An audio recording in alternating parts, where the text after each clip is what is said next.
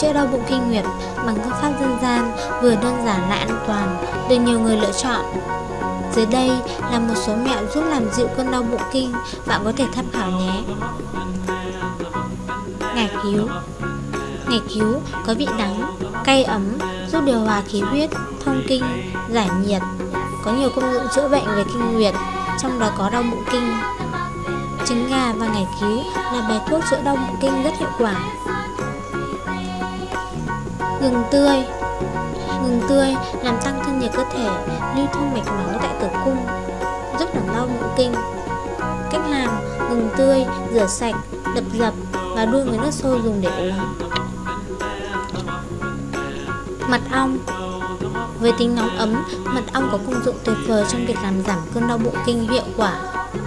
Rất đơn giản, bạn chỉ cần pha từ 1 đến 2 thìa mật ong với nước ấm rồi uống trực tiếp. Cơn đau sẽ được xoa dịu.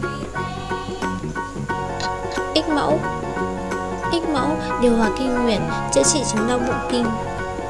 Lấy ích mẫu cùng với đường đỏ, gừng tươi, táo đỏ nấu với 1,5 lít nước cho tới khi còn khoảng 250ml nước thuốc thì tắt bếp.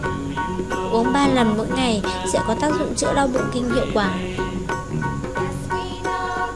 Nghệ tươi có công dụng thúc đẩy lưu thông khí huyết, điều hòa kinh nguyệt rất tốt. Công dụng làm ấm của nghệ còn giúp nữ giới giảm đau bụng kinh. Nghệ tươi bạn thái nhỏ, phơi khô, tán thành bột mịn. Sau đó trộn với mật ong rồi vo thành các viên nhỏ dùng để uống vào mỗi buổi sáng. Tỏi Tỏi từ lâu được coi là bài thuốc chữa đau bụng kinh rất hiệu quả. Bạn lấy vài nhánh tỏi, bỏ vỏ và đập dập. Sau đó phi tỏi lên, chờ khoảng 10 phút cho tỏi nguội và thêm chút đường rồi ăn luôn. Video này hy vọng sẽ hữu ích cho các bạn. Chúc các bạn thành công!